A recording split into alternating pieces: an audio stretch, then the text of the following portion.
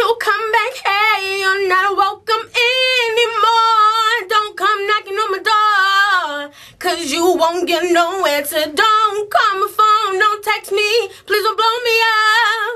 I was tired, now you're fired from being my only love.